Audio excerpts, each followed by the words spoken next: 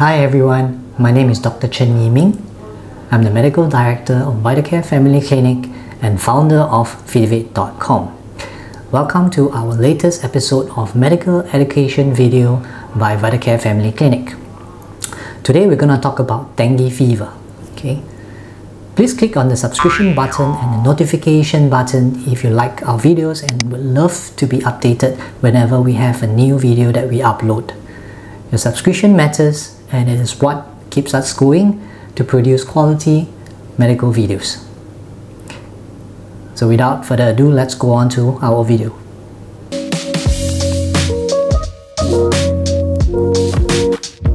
Dengue fever is a viral infection that is transmissible from humans to humans by the Aedes aegypti mosquito.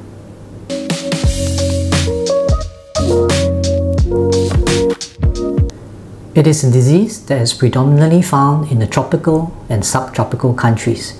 Its incidence is increasing all the time. In fact, it's estimated by WHO that the number of dengue fever is increasing and at this point of time, about 100 to 400 million people are infected with dengue fever every year.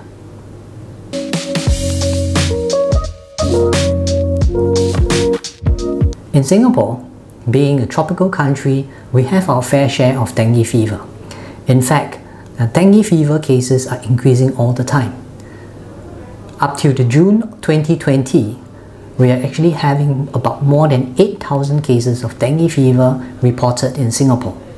We are heading towards one of the highest number of dengue cases per year for this decade.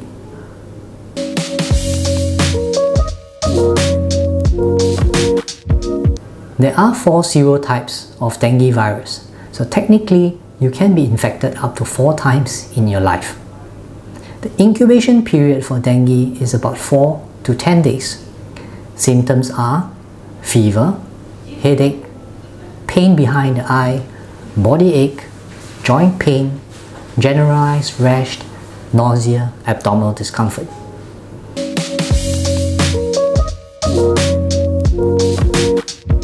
In severe cases, where dengue hemorrhagic fever occurs, more severe symptoms may be shown.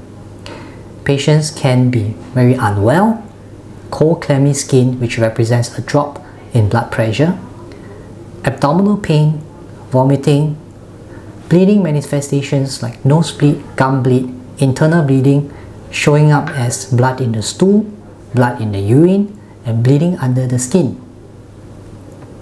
In severe cases, it may even result in death.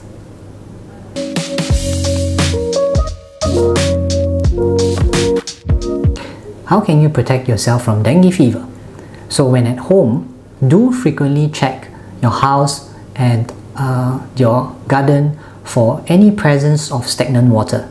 Change them regularly so that the mosquito will not breed in these areas. Two, some people actually install wire mesh in their windows okay, to prevent the mosquito from coming into their home. And in some cases, people opt to sleep in air-conditioned rooms at night outside of your home, please choose wisely where you're going. Avoid going to dengue infested areas. And if you have to go to these areas, please put on your insect repellents.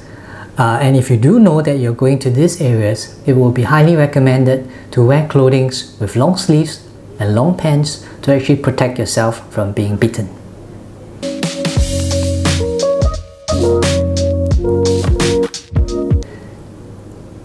There is no cure for dengue. Okay.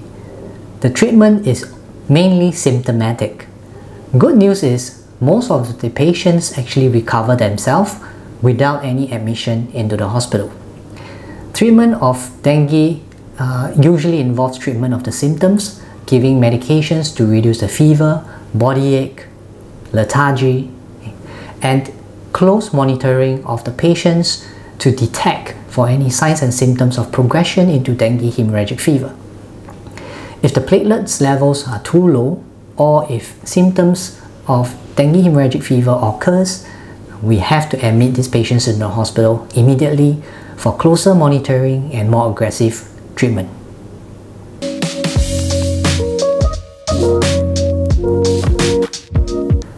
So please consult your doctor if there are any signs and symptoms of dengue fever or if you have fever without any known cause or obvious symptoms. Do not ignore your symptoms. Dengue can be deadly. Thank you for watching this video. We hope you learned something from it. Um, we look forward to seeing you at the next video. Take care.